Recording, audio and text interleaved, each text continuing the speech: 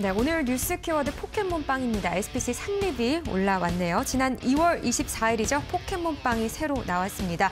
1998년 처음 세상에 나와서 큰 인기를 끌었던 이 포켓몬빵이 16년 만에 다시 재출시가 된 건데요. 일주일 만에 150만 개 이상 팔렸다고 하죠. SPC 삼립 베이커리 신제품의 같은 기간 평균 판매량보다요. 6배 이상 높은 수준이라고 합니다. 이 신제품에 대한 기대 그리고 기본적으로 이 주가를 가장 기본적으로 뒷받침해주는 실적도 나쁘지 않습니다. 어, 재출시 당일에도 SNS 구매 인증이 한 5천 건 이상 게시글이 올라왔다고 하는데 포켓몬빵의 인기를 얻은 SPC 삼립 이야기 나눠보도록 하겠습니다. 네, 아마 20, 30대 향수를 다시 한번 끌어올린 게 아닌가라는 생각이 드는데 오픈런을 하신 분들도 계시다고 하더라고요. 포켓몬빵 좋아하셨나요? 저 어렸을 때 많이 먹었죠. 네, 스티커도 네. 뗐다 붙였다 하시고요. 그렇죠. 20, 30대가 네. 아니라 3, 40대의 추억이라고 보시면 될 것 같은데 네. 어, 뭐 지금 오늘 이슈가 뭐냐면 인플레에 대한 우려감이에요. 예. 그러니까 오늘 주가가 어 왜 이렇게 많이 하락했어? 뭐 지난 주말에 미국 증시 하락해서 뭐 나사 선물이 하락을 해서 뭐 하락한 거 뭐 이유도 있겠습니다만은 그 그러니까 유가가 개장하자마자 12% 15% 폭등을 보여줬어요. 예. 그러다 보니까 나사 선물이 급락이 나왔던 음. 거거든요. 한마디로 어, 초인플레 우려감들이 지금 시장을 좀 위협하고 있다 생각을 음. 좀 하고 있고요. 그 이후에 유가가 조금은 떨어지긴 했습니다만은 지금 소맥, 그러니까 밀이 지금 폭탄주 아닙니다. 밀 선물 가격이 다시 한번 어, 급등세를 보여주고 있습니다. 지난주 4일 연속 상한가를 기록을 했고 오늘도 지금 거의 상한가 언저리에 가고 있다는 얘기죠. 그만큼 인플레에 대한 우려감들이 시장을 좀 억압을 하고 있는데 오늘 이제 보면 유가 관련된 정유주들이 아침에 상승했다가 아, 약간 하락 반전, 상승폭 좀 둔화시키고 있습니다. 하지만 상사주들, 포스코 인터내셔널,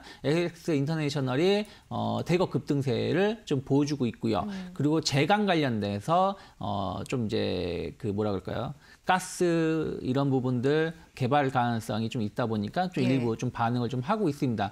하지만 오히려 조금 이런 쪽, 뭐, 이런 쪽의 상승 쪽보다는 오히려 어, 그 인플레 관련, 그러니까 뭐랄까요? 그 식품 관련된, 에그플레이션 관련된 쪽이 조금 더 반응을 많이 보여주고 있어요. 그래서 예. 비료, 뭐 종묘 관련된 기업들, 효성 오일비는 20% 이상 오르고 있고요. 네. 뭐 남해화학, 조비가 한 4에서 5% 오르고 있고요. 또 하나가 수산주들이 아침에 음. 그렇게 많이 안 올랐는데 뭐 동원수산, 한성기업, 뭐 신라 SG 등이 좀 상승을 좀 하고 있습니다.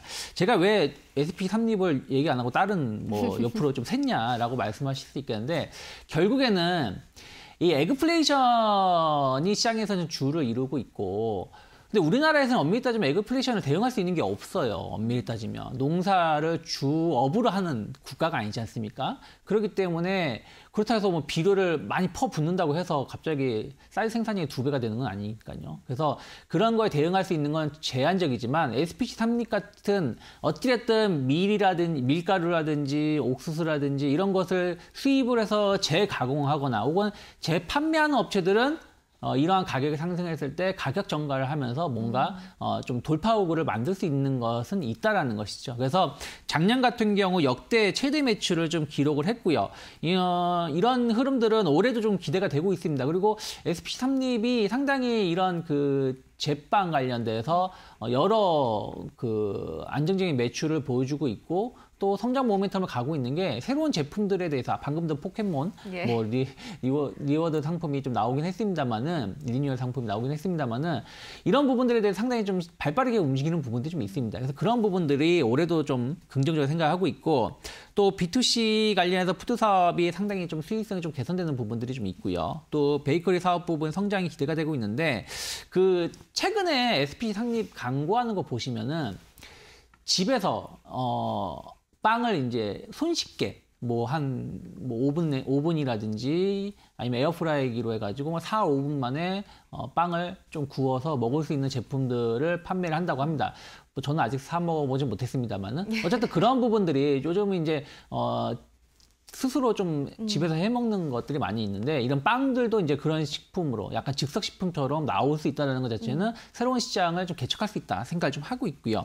거기다가 이제 SPC 삼립이 최근 몇 년 동안 심혈을 기울인 게 식자재 유통 사업 부분인데 안타깝게도 이게 코로나 때문에 타격을 받았죠. 예. 학교 다 휴학을 하고 있고 뭐 이렇게 하고 있으니까 뭐 학교를 단축 수업을 하고 있다 보니까 급식이 많이 저조했는데 이제는 정상 등교하고 정상적인 사- 회사 직장 생활 한다라면 급식 사업이 좀 안정화될 수 있다는 것이죠. 그러면 그런 부분들이 올해 상당히 좀 기대를 해볼 수 있지 않나 생각을 좀 하고 있습니다. 그래서 주요 제품 가격 상승이라든지 이런 부분들 보신다라면 최근에 CJ 프레시가 상당히 좋은 주가 흐름을 좀 보여줬었어요. 예. 그러면 SPC 삼립 같은 경우도 오늘 약간 눌림목이 나오고 있습니다만 이 에그플레이션을 대, 대응할 수 있는 거는 식자재 유통이라든지 혹은 관련된 사업을 하는 기업이 좀 주목 을 받을 수가 있고 그럼 저는 주목을 덜 받았다 생각하고 있기 때문에 SPC 삼립 충분히 고점 돌파 기대감 좀 가져볼 수 있지 않을까 생각 좀 하고 있습니다. 네, 알겠습니다.